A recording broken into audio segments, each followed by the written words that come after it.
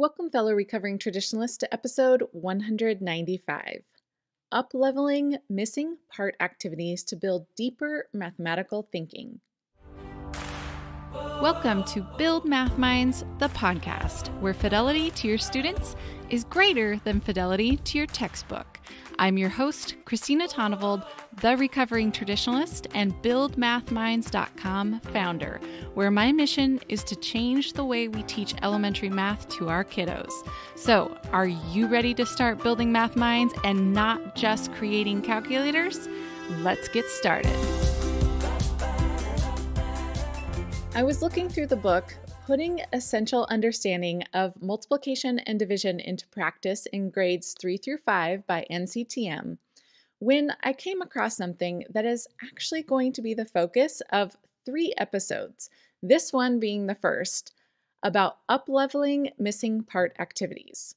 Missing part activities are where students work with incomplete information information. They're missing something. They're usually given a whole or total and then part of that whole and then they need to figure out that missing part. Missing part activities are often used to help students build connections between inverse operations. So if 3 plus something equals 8 that's connected to asking what is 8 minus 3 or 6 times blank equals 12 helps them see that connection between 12 divided by 6. Now, a typical missing part activity is when students, like I said, know something like 8 is the total or the whole, and 5 is one of the parts. Then they need to determine that 3 is that missing part. Or in a more visual scenario, if you let's say you count out 10 objects with your students and then you hide some of them and you ask how many are hidden based upon what's still visible, right? They know the whole, they they counted that out with you. It was 10. They can see part of it, but they can't see another part. That is a typical like missing part type activity. Now, inside the Build Math Minds PD site, we even have a slide deck of over 100 slides that are animated visuals just like that. A set appears, part of it disappears, and then you ask the students how many disappeared. We call it the disappearing act, right? And it's for all all grades. Like it, there's fractional ones, there's multiplication, division. But after reading a part of that book, Multiplication and Division in Practice, I want to encourage you and myself to go beyond the typical missing part activity. Here's one example from the book. I'm going to be sharing some more but in future episodes, but here's one from the book that made me really stop and think about our typical missing part activities. If you go to the show notes page, I'll have the picture there. The show notes page is buildmathminds.com slash 195. But for those of you listening via podcast, it says Determine the missing numbers in the following tasks. Explain your thinking for each part. A says 18 times 6 is the same as blank times 12. B says 24 times 12 is the same as 6 times blank. C is 200 divided by 6 is the same as 100 divided by blank. And then the final problem says 200 divided by 6 is the same as blank divided by 12. Now, it also made me imagine ones for addition and subtraction, right? Like you can imagine things like 8 plus 7 is the same as blank plus 10. The reason problems like this are such an important addition to put into your missing part activities is that you are building a more cohesive sense of what equality is in mathematics. And you are helping your students build big mathematical ideas through the properties of numbers that they are developing while thinking through these types of problems. A lot of students think that the equal sign means the answer comes next because they see problems like 5 plus 6 equals blank, or the missing part version of that is 5 plus blank equals 11. And it gets ingrained that the answer always comes after the equal sign. Even if you aren't saying that, the kids are seeing it constantly in the worksheets and textbook activity textbook activities that we give them. So you do need to do lots of activities that help students see that the equal sign actually means is the same as. And these examples that I've just shared are exactly that type of activity. Now, when students are thinking through these types of problems, they are essentially developing the associative property. If you've forgotten which one that is, the associative property is when there is more than two numbers that are being added or multiplied together, and you can group them any way that you want, and the answer will stay the same. The way I help my kids understand that is that different numbers can associate or group, right? When you associate yourself with something, they can group or associate differently right? But it still stays the same. You don't have to be in the same group all the time, it's still the same. So if you have something like 3 plus 8 plus 7, I could group the 3 and 7 together. I could associate the 3 and 7 together and then add the 8, and it would be the same answer as if I had just added them in the order that they are given.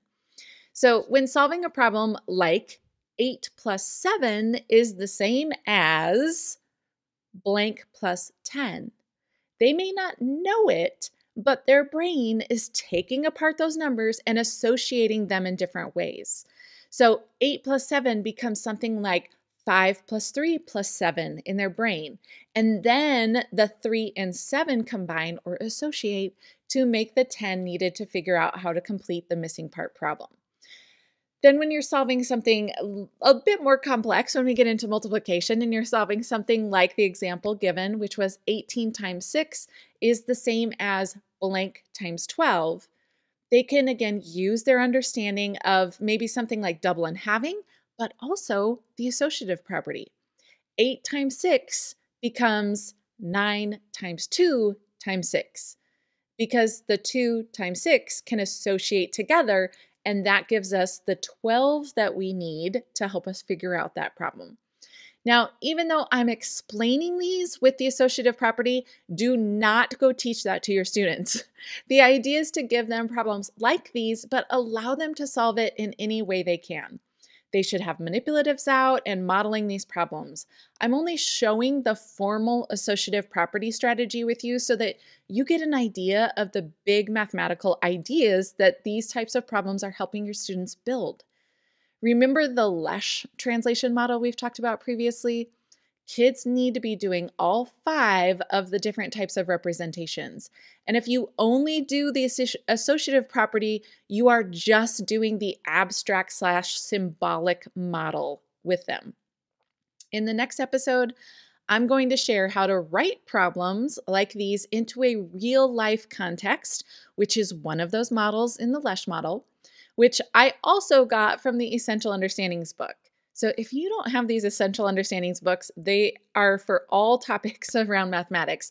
And I'll link to the whole series over at NCTM on the show notes page, which is buildmathminds.com slash 195. But for this week, I want to encourage you to use these missing part sentences, not equations, write them out and use the phrase is the same as. Okay, you're going to use those as a number talk. Put one problem up on the board and have your students work on it. They may model, they may need manipulatives to help them out, right? But then once they've had some time to work on it, I want you to take five or seven minutes sharing a few different ways that students determine the missing parts. Okay. Number talks are a great routine to get your students talking, but then looking at how the different strategies worked to solve the same problem. The idea of a number talk is one problem. I put two fingers up, but one problem. And you're talking about the different ways that kids came about that problem and the different strategies they had.